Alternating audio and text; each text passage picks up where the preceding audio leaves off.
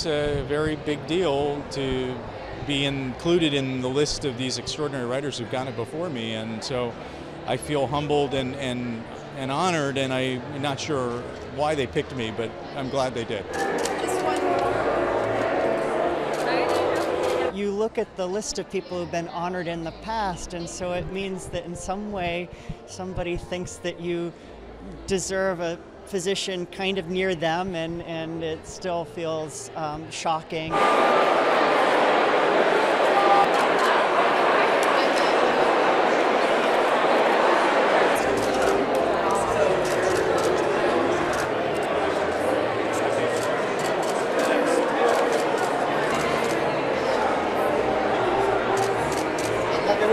What are you having? The Havana special. Ham, Swiss, pickles on a toasted roll. Hold the mustard. Ham. What? Really, Bob? What are you, my rabbi? I thought it was a Jewish deli. It's Beverly Hills.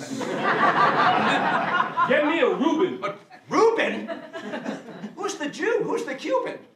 Okay, they don't have matzo bread. Get me like him. Hold the cheese and Diet Pepsi. Not Coke. Pepsi. Got it. What's her name? She's got a boyfriend. Okay. So,